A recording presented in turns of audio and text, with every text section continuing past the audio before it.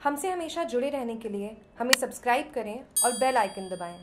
तीन दिवसीय आचार्य सम्मेलन शुरू विद्या भारतीय अखिल भारतीय शिक्षा संस्थान से संबंधित प्रबंध समिति आदर्श विद्या मंदिर जोधपुर द्वारा संचालित विद्या मंदिरों के आचार्यों का त्रिदिवसीय आचार्य सम्मेलन आदर्श विद्या मंदिर उच्च माध्यमिक कमला नेहरू नगर में प्रारंभ हुआ आचार्य सम्मेलन के उद्घाटन सत्र में जोधपुर प्रांत के प्रांत सचिन, महेंद्र कुमार दवे, प्रांत सेवा प्रमुख रुद्र कुमार और प्रबंध समिति आदर्श विद्या मंदिर जोधपुर के सचिव संग्राम काला ने माँ शारदा के समक्ष दीप प्रज्वलित कर सम्मेलन का श्री गणेश किया।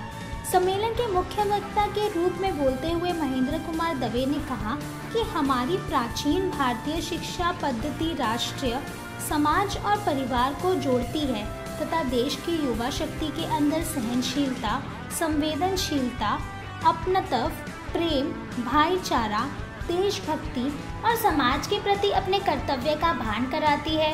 इन्हीं कारणों से हमारी प्राचीन शिक्षा पद्धति को श्रेष्ठ शिक्षा पद्धति माना है।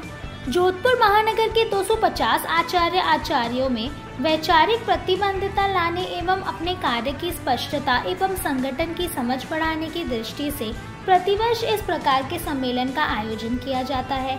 इस अवसर पर उपस्थित अतिथियों का परिचय आदर्श विद्या मंदिर उच्च माध्यमिक केशव परिसर के प्रधानाचार्य भूमराज जोशी ने करवाया तथा संचालन अशोक कुमार सोनी ने किया।